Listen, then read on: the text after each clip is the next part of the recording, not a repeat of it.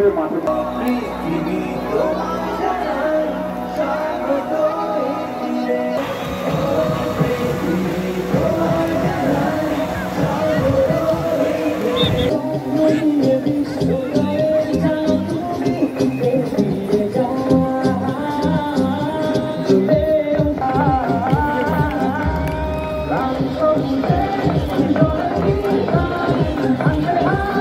আমরা কি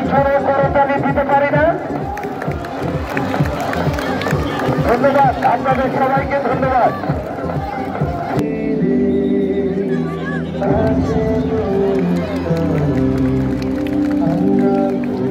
ধন্যবাদ, প্রথমে সরকারি শিশু পরিবারের বাড়ি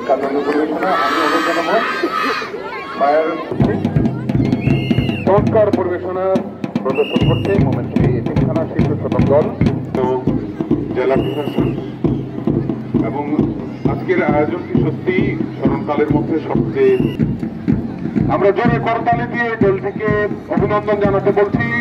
শুধু দর্শক